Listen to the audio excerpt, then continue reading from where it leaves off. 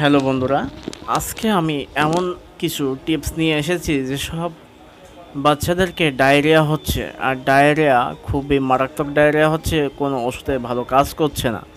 সেই সব ক্ষেত্রে আমি কিছু ঘরোয়া টিপস দিব আপনাদেরকে, আপনাদের বাচ্চাদেরকে এগুলো ইউজ করতে পারেন।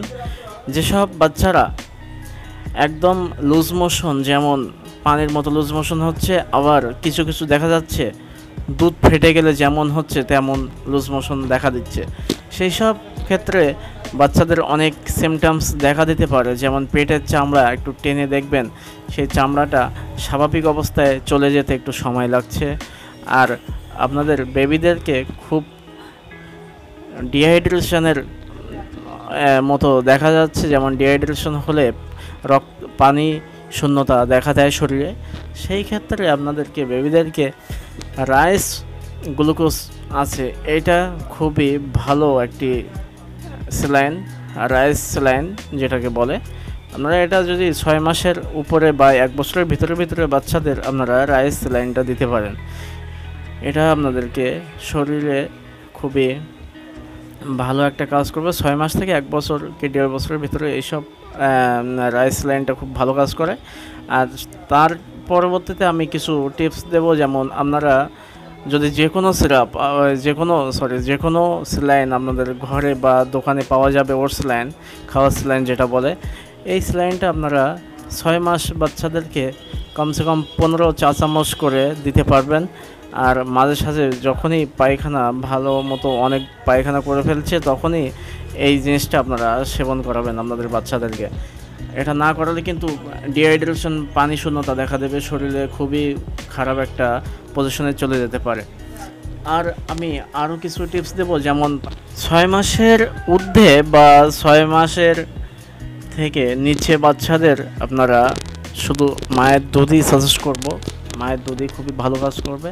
অন্য দুধ দিলে সাথে সাথে আপনার মায়ের দুধের সঙ্গে যদি অন্য দুধ দেওয়া হয়, তাহলে কিন্তু পায়খানাটা বেশি হওয়ার সম্ভাবনা থাকে। যে কোনো একটি দুধ আপনারা সেবন করাবেন। আর সাথে সাথে আরেকটা কথা বলব যে, সব ছয় মাসের উপরে বাচ্চাদের ডিহাইড্রেশন লুজমোশন হচ্ছে। তাদেরকে আমরা ঘরোয়া টিপস কিছু বলব। যেমন থানকুনের পাতা পাতা আছে। থানকুনের পাতা এক চা চামচ করে আপনারা পিষে ও রসটা খাওয়াই দিতে পারবেন। খুবই ভালো একটা রেজাল্ট দেবে।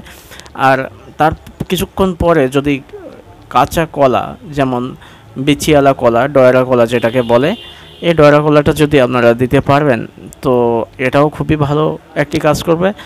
আর যেসব বাচ্চাদের অনেকগুলো ওষুধ খাওয়িয়ে আপনারা দেখেছেন, অথচ কোনো কাজ করছে না, তাদেরকে আমি কিছু মেডিসিনও সাজেস্ট করব, সেগুলো ভালো ডাক্তার দ্বারাই এইগুলো লিখে নিতে পারবেন আর তাদের দ্বারাই চেক করিয়ে নিতে পারবেন। যেমন এজিথ্রোমাইসিনের যে মেডিসিনটা আছে জিম্যাক্স জিম্যাক্স সিরাপ আপনাদের ছ মাসের বাচ্চাদেরকে হাফ চামচ করে এই সিরাপটা দিতে পারবেন, খুবই ভালো কাজ করবে দিনে একবার। আর তার সঙ্গে ফিলমেট যে সিরাপটা আছে ফিলমেট আর জিম্যাক্স জিম্যাক্স দিনে একবার হাফ চামচ আর ফিলমেট দিনে তিনবার এক চামচ করে ছ মাসের ঊর্ধ্বে বাচ্চাদের।